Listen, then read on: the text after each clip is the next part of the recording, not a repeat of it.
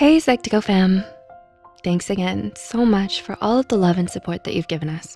Psych2Go's goal is to make mental health more accessible to everyone. Now, let's begin. How do you receive love from another person? As children, we learn from our parents, our siblings, and our partners how to receive their love. But we don't always receive love in healthy ways. Many people think you have to earn love from others, so they develop unhealthy behaviors.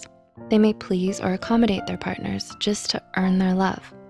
This is called the pleaser love style. If you think you're the pleaser in your relationship, here are nine signs of the pleaser love style that might describe you. One, you want to be everything. Do you wanna be everything for your partner? A partner, a confidant, a best friend, all wrapped up in one? You wanna be their number one across the board in every category. Otherwise, you don't feel loved. In fact, you may feel rejected or inadequate when your partner relies on someone else, even their own family members. If this sounds familiar, you have the pleaser love style. Two, you always apologize first. In a relationship, pleasers avoid conflict as often as possible. If you and your partner get in a fight, you may apologize immediately just to make your partner feel better. The problem is, when you appease your partner, you're neglecting your own emotional needs. At the moment, your apology might throw water on the fire, but meaningless apologies create neglect and resentment, not love. Three, you text your partner constantly. How often do you text your partner? Do you check in on them constantly throughout the day? Most couples feel pressured to talk constantly when one partner has the pleaser love style. They get anxious and uncomfortable when their partner is out of reach. They worry that something is going wrong and get nervous when their partner needs personal space Pleasers can be worrisome and clingy, even if their heart is in the right place. Four, you lie to protect your partner. Do you lie to protect your partner's feelings? This one is very common for the pleaser love style, but it can do lasting damage to any relationship. Pleasers change their opinions to make their partners feel better or spare their partner's feelings. Pleasers have good intentions, but their white lies cover up their true feelings. Over time, pleasers may feel like their partner doesn't really know them. If you have the pleaser love style, you may avoid negative feelings for years, which creates emotional distance between you and your partner. Five, you feel rejected often. Do you often feel rejected by your partner? In a loving relationship, pleasers feel a consistent sense of rejection and abandonment. Every time their partner chooses to spend time with their friends, they feel rejected.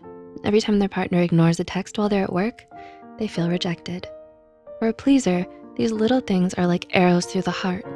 You may be scared your partner is gonna forget you or stop loving you. That's why when little things go wrong, you feel like you've been rejected. Six, you hesitate to break up. How did your last relationship end? Did you cling to your ex even though you knew the relationship with them was toxic?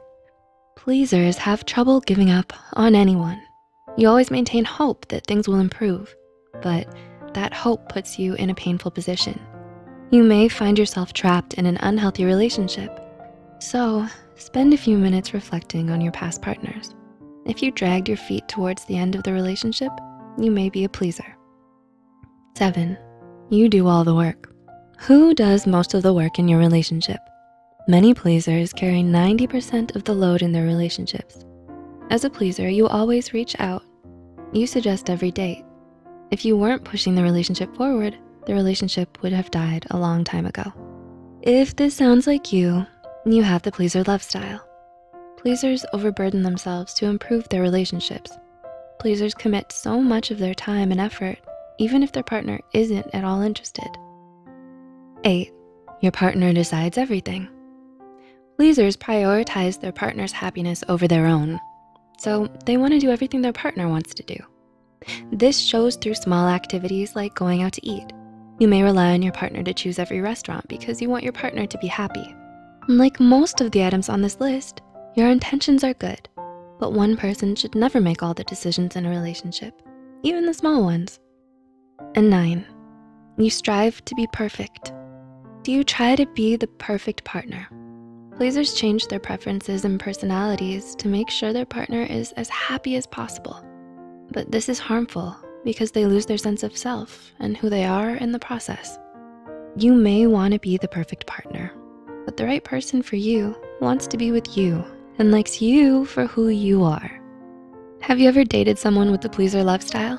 Or have you done any of these things in your relationships? Tell us your experiences in the comment section below. Don't forget to click the like button and subscribe to Psych2Go for more psychology content. And as always, thanks for watching.